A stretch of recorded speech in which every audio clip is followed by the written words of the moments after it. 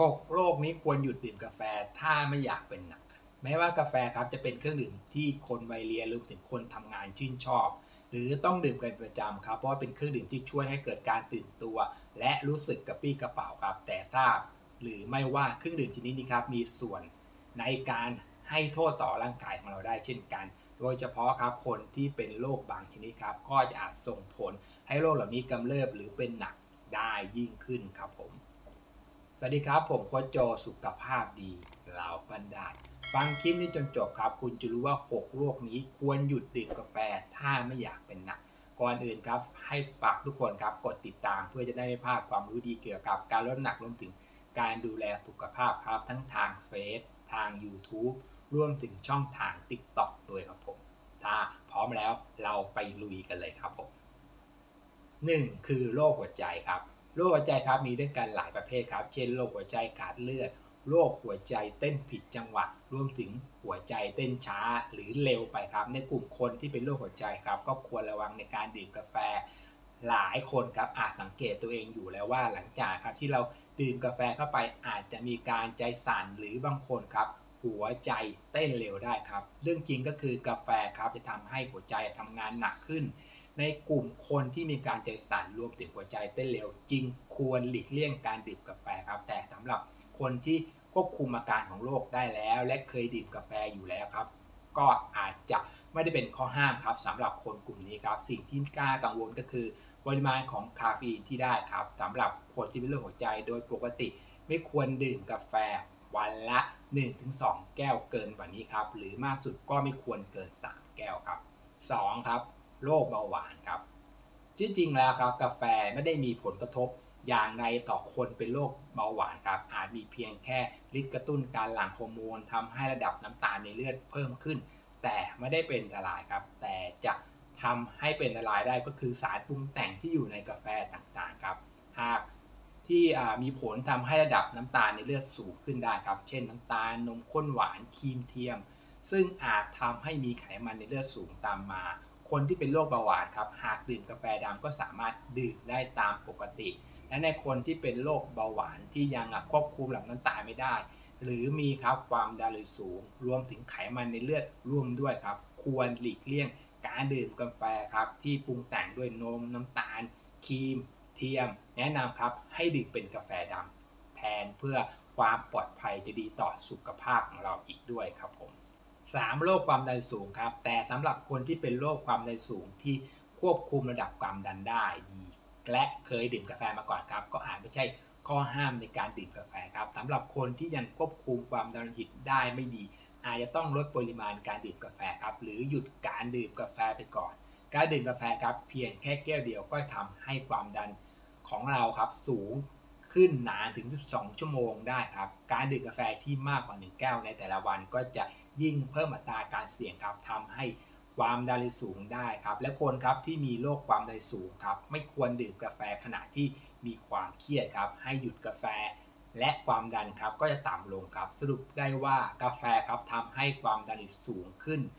จึง ควรหลีกเลี่ยงการดื่มกาแฟครับ หรือคนครับที่มีความดันสูงเกิน 170 ขึ้นไป และไม่เคยดื่มกาแฟก็แนะนำให้งดดื่มกาแฟไปก่อน เพราะอาจจะทำให้ครับความดันโลหิตของเราทั้งขณะหัวใจบีบตัว และไขตัวเพิ่มขึ้นภายใน1ชั่วโมงได้ครับหลังจากการที่เราดื่ม หรืออาจจะเพิ่มนานถึง 3 ชั่วโมง ตามปริมาณของการดื่มนั่นเองครับผม 4. โรคกระเพาะอาหารครับ กาแฟนะครับ จะทำให้กระเพาะอาหารเรามีน้ำย่อยออกมามากขึ้น จนทำให้กระเพาะอาหารเกิดแผลได้ครับ เพราะว่าคนที่มีแผลในกระเพาะอาหารจริงไม่ควรดื่มกาแฟมากเกินไปครับ โดยเฉพาะในช่วงเวลาครับที่ท้องว่างครับ แล้วมันจะไปกระตุ้นให้ร่างกายของเราหลั่งกรดมามากขึ้นสำหรับคนนะครับที่เป็นโรคกระเพาะอาหาร หรือนะครับมีอาการกรดไหลย้อนร่วมด้วย หรือครับในคนนะครับที่มีเลือดออกในกระเพาะอาหารนะครับ แนะนำ ให้งดการดื่มกาแฟไปก่อนครับ แต่สำหรับครับคนที่เป็นโรคกระเพาะนะครับแบบเป็นๆหายๆหรือนานๆจะเป็นทีครับก็ยังสามารถดื่มกาแฟได้ครับ สอดคล้องกับในหลาย ๆ งานวิจัยครับ ที่ไม่พบว่ากาแฟมีฤทธิ์ทำให้การปวดท้อง หรืออาการจากโรคทางเดินอาหารเพิ่มขึ้นได้ครับ เว้นแต่คนครับที่มีอาการรุนแรง เช่นมีเลือดออกในกระเพาะอาหารครับเป็นแผลในกระเพาะอาหารครับ ที่แพทย์อาจจะสั่งงดการดื่มกาแฟเป็นลายๆไปครับ เพื่อไม่ให้การที่เป็นอยู่แย่ลงไปนั่นเองครับผม 5. โรคขาดวิตามิน B1 ครับสำหรับคนที่เป็นโรคขาดวิตามิน B1 ครับก็จะมีการเหน็บชาต่างๆ ตามแขนตามข้อ แนะนำครับก็คือไม่ควรดื่มกาแฟหรืองดไปเลยครับ เนื่องจากกาแฟครับจะไปลดการดูดซึมปริมาณวิตามินที่เรารับ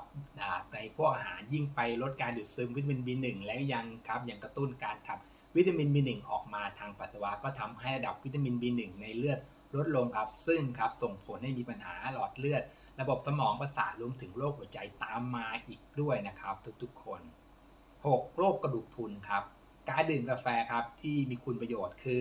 ช่วยให้ร่างกายของเราขับปัสสาวะมามากขึ้นครับ แต่ถ้าเกิดการกินกาแฟทุกวันเป็นเวลานานครับ ก็อาจทำให้ร่างกายของเราสูญเสียแคลเซียมได้ครับสำหรับกาแฟครับก็จะไป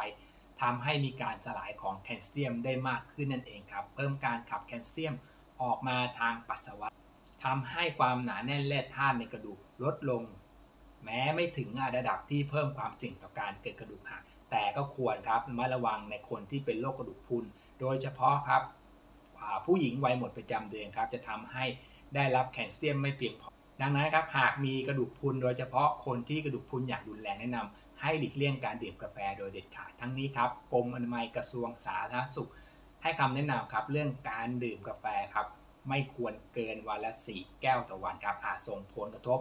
ต่อสีระบบสำคัญของในร่างกายของเราได้ครับ 1. ครับระบบประสาทส่วนกลางครับ 2. ระบบทางเดินอาหาร 3. ระบบ การไหลเวียนของเลือด 4. ครับระบบทางเดินปัสสาวะครับจึงแนะนำครับให้ทุกคนดื่มกาแฟแต่พอดี เลือกดื่มเป็นกาแฟดำที่ไม่มีส่วนผสมอื่นใดครับก็จะได้ประโยชน์กับร่างกาย ไม่ควรดื่มกาแฟขณะที่ท้องว่าง และไม่ควรดื่มร่วมกับเครื่องดื่มที่มีคาเฟอีนชนิดอื่นครับหลังดื่มกาแฟควรดื่มน้ำเปล่าครับตามไปด้วยเพื่อป้องกันการขาดน้ำและการตกค้างของคาเฟอีนในร่างกายครับผม เดี๋ยวผมโค้ชโจครับจะสรุป ให้กับทุกๆคนครับ 1 คือโรคหัวใจครับ 2 โรคเบาหวาน 3 โรคความดันโลหิตสูงครับ 4 คือโรคกระเพาะอาหาร 5 โรคขาดวิตามิน B1 ครับ 6 โรคกระดูกพรุนครับ ถ้าใครชอบคลิปนี้ครับ ก็อย่าลืมกดถูกใจกดไลค์กดแชร์ และกดสี่เหลี่ยมครับ เพื่อจะได้ไม่พลาดวิดีโอดีๆกันครับ และมาเจอกันใหม่กับช่องโค้ชโจสุขภาพดีเหล่าปันดาและใครครับที่มีปัญหา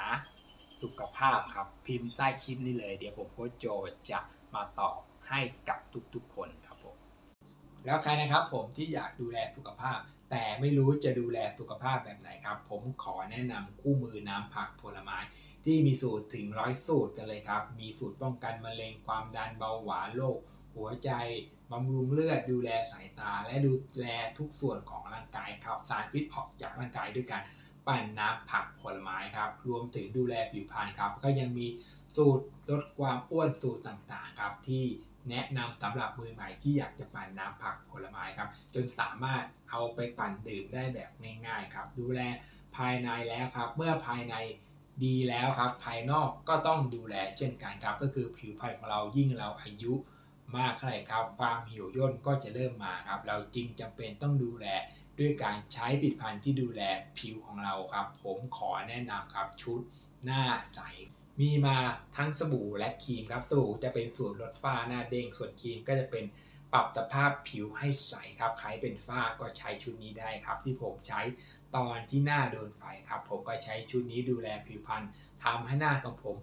หายด้วยการใช้ชุดหน้าใสนี้ครับ ปลอดภัยได้เลยครับ รวมถึงการปั่นน้ำผักผลไม้ทั้ง ภายในดีภายนอกดีครับ ถ้าเกิดใครสนใจครับก็กดสั่งได้เลยนะครับ เพื่อนๆทุกคน